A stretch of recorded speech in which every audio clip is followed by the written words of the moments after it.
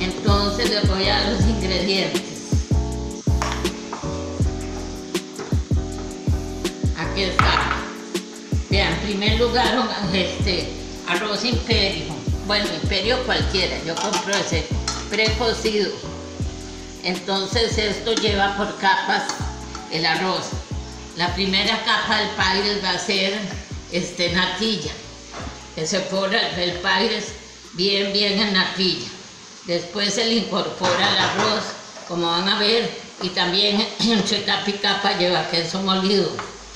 La crema blanca que la tengo que hacer es en la cocina que lleva todo esto. Si quiere vean niños, en la cocina, vení.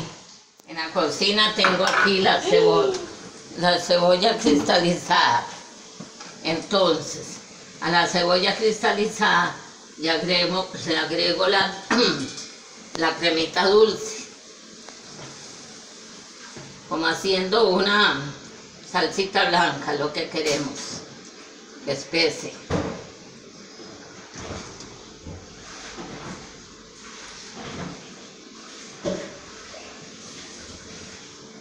Se le puede incorporar un poquitico de pimienta. Momentico, porque yo las cajitas las siempre les echo un poquitico de agua para no desperdiciarlas las cremas. Entonces, una vez que esto hierva, le, la voy moviendo en juego M, le agrego el, maíz, el jamón y el palmito. Ahorita venimos de nuevo a la cocina. Voy para acá, no les estoy poniendo la natilla en la base de, del arroz. Antes de echar la capa de arroz, incorporo natilla, no muy poquita para que quede húmedo el arroz. Tampoco montones.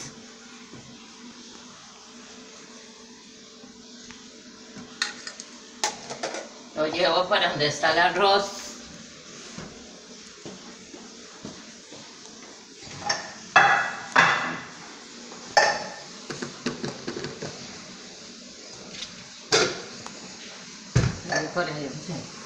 Como ven, ¿qué sigue ahora?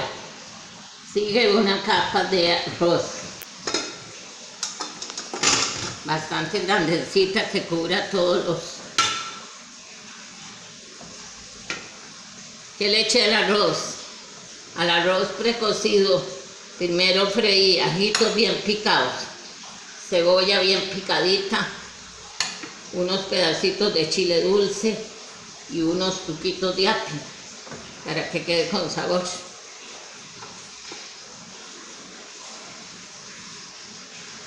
Se cubre todo el país.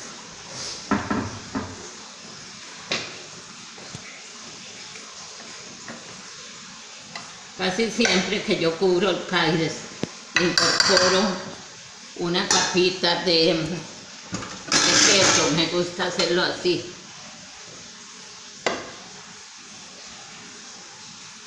El queso ahora después el arroz se mete al horno. Entonces el queso se deshace. Entonces aquí está incorporado un poco de queso. ¿Cuál queso? Puede ser el que guste. Siempre que sea un poquito finito. Puede ser los pinos, turrialba, cualquiera de ellos que no sea como muy pesado para que el arroz no quede muy pesado. Hoy lo hice todo blanquito, otro día puede ser veteado con todo. Voy a la salsa blanca. Entonces aquí está la salsita blanca en el, en el juego, que tenemos que esperar que hierva un poquito. Entonces voy a hacer pausa un poquito para, para darle los ingredientes de nuevo. Y sal- Tres. un toquecito de pimienta negra y un toquecito de sal. Muy poquita porque los quesos son muy salados. Lo esperamos que hierve, que espese, para luego incorporarla a la capa de, encima del arroz. Para este paires usé dos tacitas de dos medidas de arroz que lo hice en la olla arrocera que le eché ajito, cebolla y chile dulce y luego entonces el paires una vez que el arroz ya reventó entonces el paires le puse natilla eh, como base después le puse el arroz cubriéndolo de lado a lado una capa más o menos gruesita, no muy delgada, y luego este, espolvoreé queso. Entonces ahora sigue la crema dulce ya con el palmito, con el maíz dulce, con jamoncito y se le incorpora sobre esta capa. Cuando ya se lo incorpore, este, dejo un poquito de crema dulce aparte, muy poquito, para incorporarla en la última capa. Entonces ya van a ver. Aquí viene el relleno. Vean qué delicia. El palmito, jamón, ahí dulce. Mijitas, hay que tener cuidado a la hora de echar el relleno, porque figúrense que el relleno, este, si no lo echan parejito, entonces los que les toca esta punta no comen. El relleno tiene que ir de lado a lado, como están observando, muy parejito, mi hijita. Muy parejito.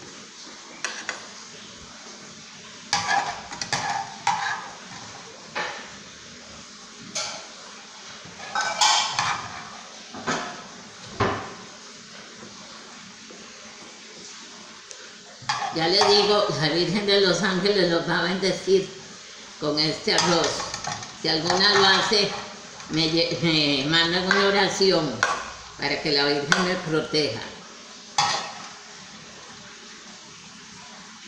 Está la segunda capa de arroz. Entonces me sobró un poquito de caldito que dejé al propio para como para bañarlo encimita un poquito.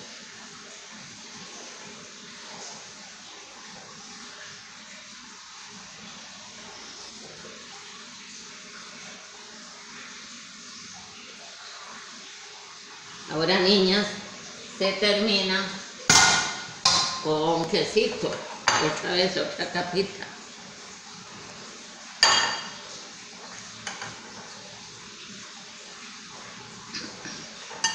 El arroz con palmito, el arroz con palmito se considera un plato fuerte.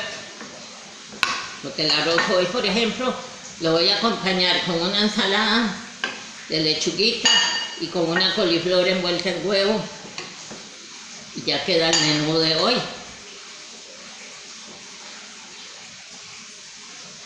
Bueno, les agradezco mucho que me vean, porque esto lo hago como para entretener a la gente en estos momentos, para que no sea solo oídos, sino que tengamos momentos de de podernos comunicar con otros programillas. Tal vez medios tontillos, pero los hago con mucho cariño. Chao, amiguitas. Sí, se me olvidó. Esto va para el horno, una media hora quizás, que quede doradito los quesos y se saque y se enfría. Y ya queda listo el manjar para ustedes. Bueno, amores, después les mando la receta escrita.